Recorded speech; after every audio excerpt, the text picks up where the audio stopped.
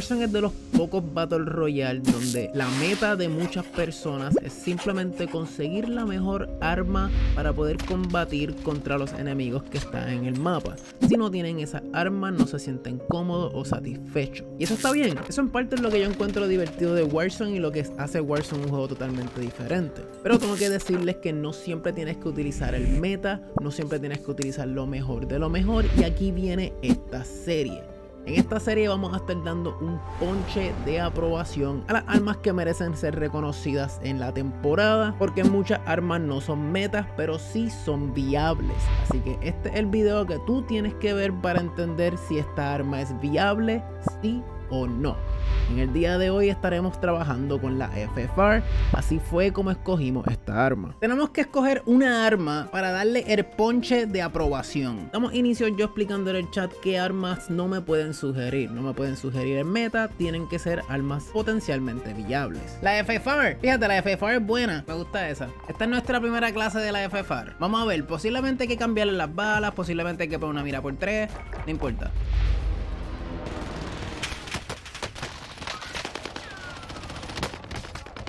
¡No! Es que el sobrao, el sobrao que me estaba disparando desde Júpiter.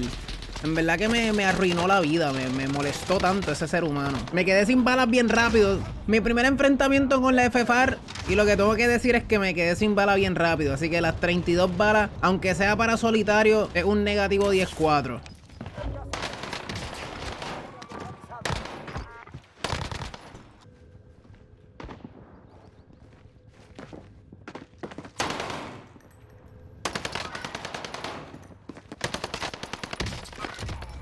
Vamos a ver si le hacemos team chat.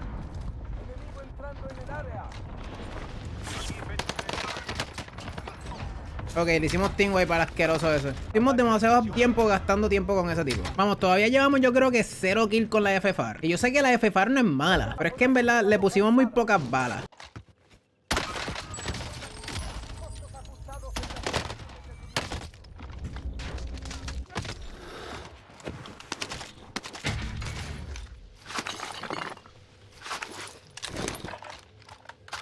Está bien en el abierto, chat.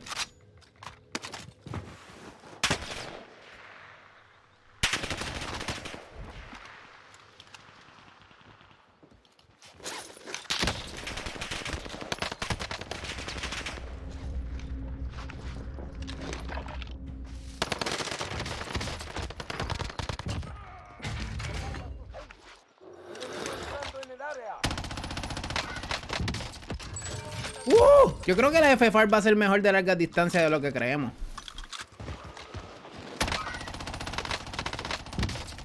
Porque es bien fácil de controlar. Tiene, tiene mucho retroceso vertical, pero es como derechito. ¡Ah! ¡Qué macho alfa! ¡Qué macho alfa! ¡Ay, Diosito! Algunas de las conclusiones que saqué de esa partida es que muchos de los enfrentamientos de corta se me estaban haciendo relativamente difíciles. Y ahora mismo lo que estás viendo es yo buscando una alternativa para mejorar esos enfrentamientos. Estoy considerando una mira por dos para después en un futuro probar la mira por tres. Quiero probar ambas miras. Y lo más importante sin duda fue las balas. Había que aumentar la cantidad de balas de 38 a 50. Determinamos que esta era la próxima clase que debíamos probar. Recuerden, no queremos llegar al final tan rápido, queremos descubrir que esta clase se puede construir de varias formas diferentes, solamente hace falta construirla de una forma correcta, pero idealmente queremos que se construya de muchas formas. Yo creo que ahí con una mira por tres, por lo menos tocábamos el enemigo. En verdad, increíble lo rápido que te quedas sin balas.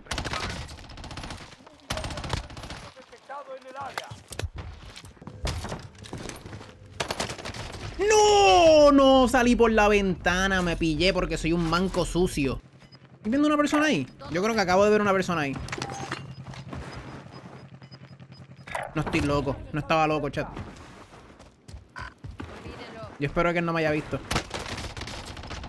¡Ah! ¿A qué le gané? ¿A qué le gané? ¿A qué le gané? ¿Con qué me estaba disparando? Me estaba disparando con la carabina. Le ganamos una carabina. ¡Le ganamos una carabina!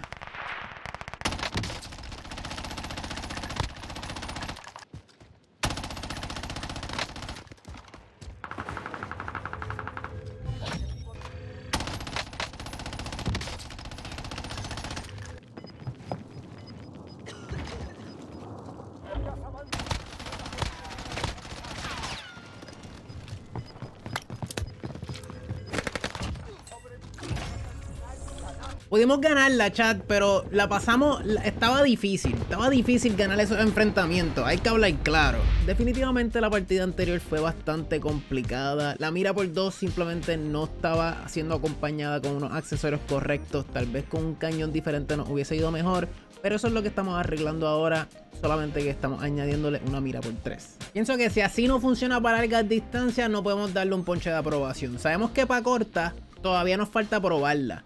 Pero si queremos probarla para corta, tenemos que irnos a Renacimiento. Así que vamos a jugar esta partida, verificamos si funciona para larga y si sí funciona, la probamos en Renacimiento para cortas distancias.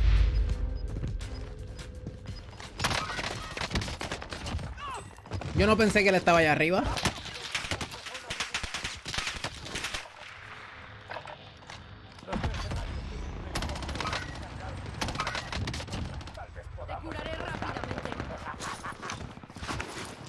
A la derecha tengo a uno.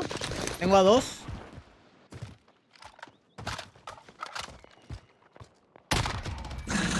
Dios mío, ese tipo estaba en el toilet jugando.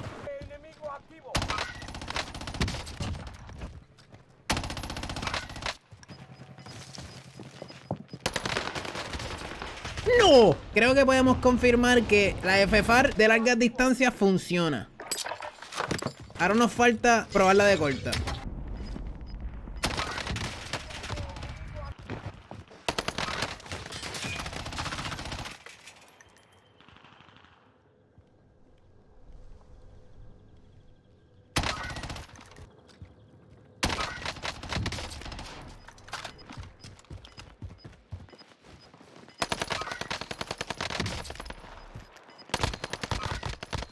Porque tú eres inmortal.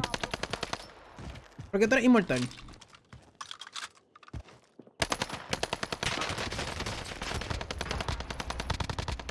O porque esa persona no quería morir. ¿No puede ir para otro lado, Bounty? ¡Ah! ¡Te lo creíste! Canto de sucio, tonto, tonto, tonto. Eres un tonto.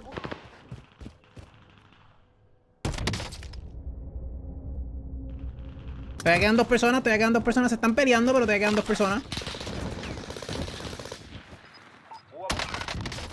GG. La FFAR con mira por 3 para largas distancias definitivamente es viable. Toma tiempo, no te da para matar a muchos enemigos, pero definitivamente es viable. Vamos a probarlo ahora para cortar distancia en Renacimiento. Salimos muy satisfechos de esa última partida, utilizando la mira por 3, el cañón Task Force, 50 balas, empuñadura de operador y el silenciador de la agencia. Estábamos muy satisfechos con esos resultados de largas distancias. Pero, repito, largas distancias era relativo. Era más largo de lo normal, no una distancia que tú quisieras enfrentar con una SMG, pero tampoco una distancia tan lejana que tú quieres enfrentar con una KGM40. Tiene que ser una distancia mediana a largas. Era suficientemente buena para la FFR porque no era tan imposible de controlar y hacía un buen, buen daño. Ahora tenemos que probar la FFR en Renacimiento porque en Renacimiento hay más enfrentamientos de cortas distancias y podemos confirmar si la FFR se puede utilizar de corta. Esta primera partida con la FFR realmente no nos fue nada bien. Nos tardamos un montón en coger el armamento y cada vez que estábamos cerca de tenerlo, obtenerlo, probarlo, nos moríamos. Con todo eso que lo que hacíamos en esta partida era morir, morir, morir y morir, no fue un gasto de tiempo. Aprendimos dos cosas. Aprendimos que si estamos en un directo no necesariamente tenemos que usar la FFR en todos momentos porque si no no nos podemos hacer clips como esto.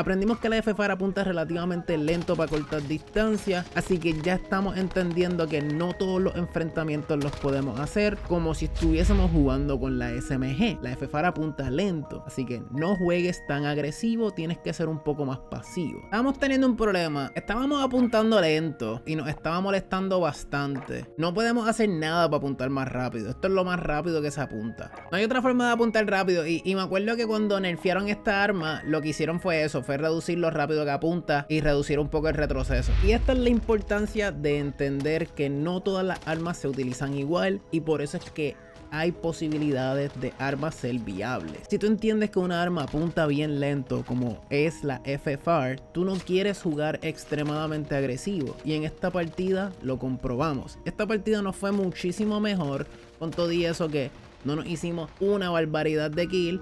Sí conseguimos más kill que la partida anterior porque teníamos una mentalidad un poco diferente. Con todo y eso dicho, la clase no la sentía buena y al final terminé cambiando la clase. No me siento optimista, no, no pienso que la FFAL es para usarse de corta en lo absoluto. Voy a hacerle dos cambios. Voy a hacerle dos cambios. Vamos a probarla para que se mueva rápido. Vamos a ponerle patrulla y vamos a ponerle el foco de tigre. Le puse el patrulla, foco de tigre y ahora se supone que por lo menos nos movamos bastante rápido.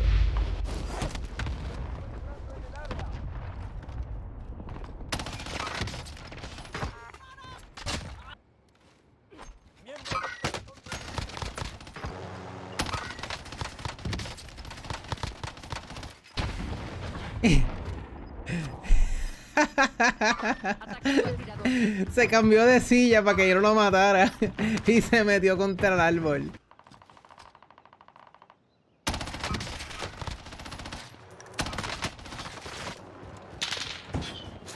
Estoy muerto aquí, chat.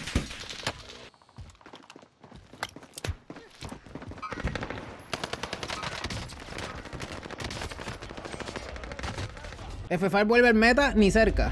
Esa partida volvimos a coger cantazos, pero en el chat nos sugirieron algo. El chat indirectamente me sugirió que construyera la FFAR de la misma forma que la construí para largas distancias con la mira por 3, pero quitándole la mira por 3. Así tenemos todo el control de retroceso y estamos utilizando una mira de hierro. Y esta es la clase. Una última oportunidad porque no tenemos el acople correcto.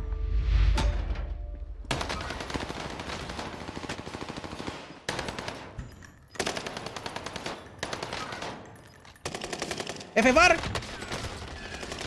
¡Maldita! ¿Cómo tú no puedes matarlo? ¡Oh! ¿No creen en la munición esta gente? Así que la pregunta es, ¿la FFAR llevará un ponche de aprobación? Sí o no. Mayormente tengo que decir que no, pero si estás extremadamente aburrido, pruébate la FFAR con la mira por 3. Yo no quiero decir que esta arma es viable, yo no quiero decir que esta arma es algo que tú puedes utilizar y defenderte? Pienso que no. Pienso que vas a perder contra todas las Blixen, contra todas las Marco, contra todas las NZ41, KGM40. Vas a perder contra la mayoría de las cosas, incluyendo la carabina Cooper. Donde único esta arma para mí tiene espacio es en el mismo lugar donde está la carabina Cooper. Carabina Cooper es una de esas armas que son extremadamente fáciles de controlar y tienen un daño absurdo, pero se quedan sin balas bien rápido. M13, carabina Cooper, por ejemplo. La FFAR está en esa categoría, pero la FFAR es significativamente más difícil de controlar que la carabina Cooper o con la M13. Así que básicamente, ¿para qué la quieres utilizar? Realmente no quieres utilizar la carabina. La M13 matan más rápido o matan igual de rápido y son más fáciles de controlar. Así que es viable, realmente no. Hay armas que hacen exactamente lo mismo mucho mejor. Ni para largas distancias la puedo aprobar, ni para cortar distancias la puedo aprobar. Esta arma no lleva un ponche de aprobación. Suscríbete.